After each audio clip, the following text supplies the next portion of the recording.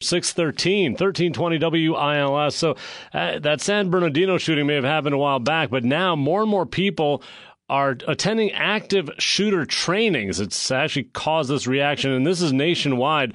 Dr. G.M. Cox, a law enforcement expert at Tarleton State University, and spent four years as in law enforcement himself. Uh, GM, great to have you here. Glad to be here, Mike. Yeah, four years in law enforcement. What kind of work did you do? Uh, 40 years. 40, was, 40 uh, years. I, yeah, I missed yes, uh, 36 of them there, but go ahead. no problem. I started out as a military policeman in the Air Force and uh, served uh, about two years as a deputy sheriff in Texas. And then uh-huh. the rest of my time, I was a chief of police in four different cities in Texas, basically all over the map. Right. So you go from law enforcement and now you're, you're a professor, basically, right?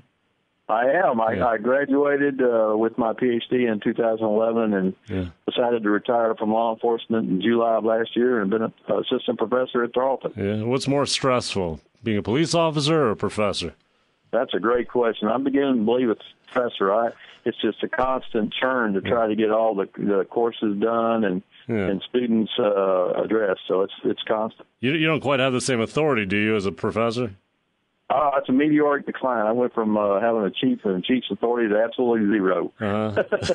uh, That's so, all right. Uh, tell me, Jim, because when I think of, of the active shooter uh, situation, right. I think of the uh, the Columbine video in the uh, in the um, right. cafeteria where everyone's just running for their life.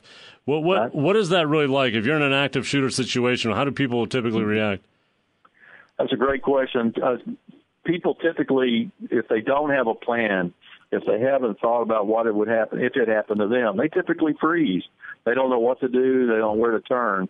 Uh, my philosophy basically is the best person to take care of you is you in these type of situations. As you've seen, these things are dynamic, they're explosive, uh, rapidly developing. So the time from uh, the active shooter on scene to an officer arriving on the scene, assuming they weren't already there, it's going to be three to five minutes minimum. So you're going to have to take care of yourself. You say, you say freeze though. When, when there's a gunfire going off not too far mm-hmm. away from you, you're saying the instinct is not to start running. It's actually to, to somehow freeze in place. You'd be surprised. Look at Columbine, for instance. Uh, we learned a great deal in Columbine. We learned uh, about uh, well, we looked about we learned about radicalization of local individuals. Uh-huh. Uh, Kelsey, uh, and Harris were the two shooters in Columbine we learned a great deal about their behaviors, where they got their behaviors, and how that that went about. Okay, we but learned great let, let, let, me fast forward to the San Bernardino, this most recent shooting, yes. where they're yes. in a room, essentially a big room full of people. Uh, yes. what, what would you learn in an active shooter training to to survive something like that? That's a great point. I would talk. I would try to train everybody on situational awareness. Do you know your environment? Do you know your room? Do you know where you at? You are. So mm-hmm. if someone were to come in there and attack, what would your plan be? And you should be thinking about that when you walk in the room. I'm not asking people to be paranoid. As a matter of fact, I think that's a bad idea. But I think you should be prepared. Look around. I mm-hmm. call that situational awareness. Uh, what so, are you so, contributing so if, to your own danger? If you identify an exit, is the the best idea to immediately run to an exit if something starts happening? That would be my recommendation, unless you're in an area where you can actually lock down, control entry and exit, and you have some some cover. Mm-hmm. Uh, remember, cover gives you some protection from the attack.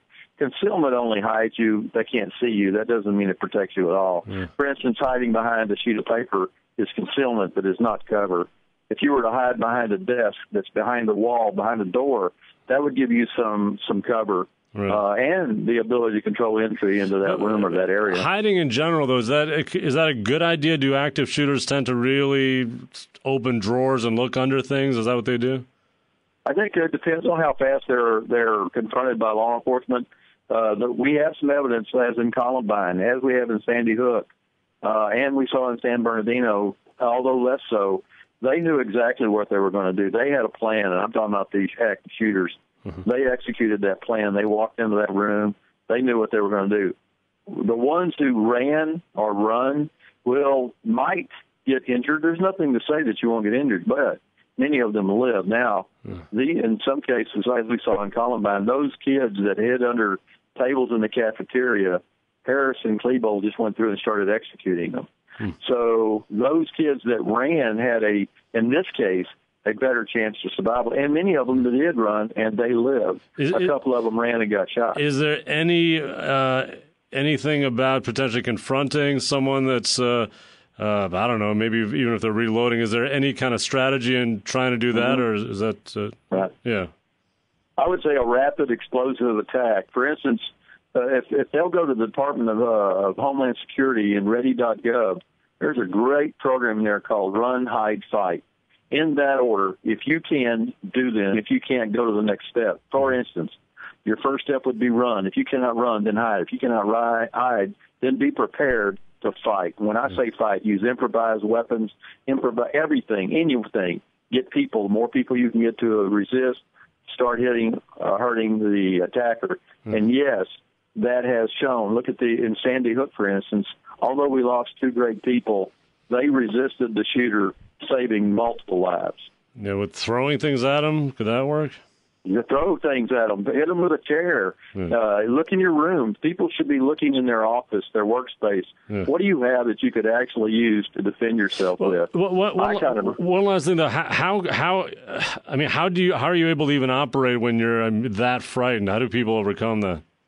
That's what that's part of the pl- being prepared and have a plan. Yeah. Uh, having thought about it. In other words, people should be thinking about when they saw San Bernardino, what would I do if that happened in my case? How would I respond? Am I capable of responding? Uh, am I physically able to run? Am I physically able to resist? These are all questions that people should ask. But here's the thing: if you don't have a plan, if you haven't prepared, then you're going to rely on panic.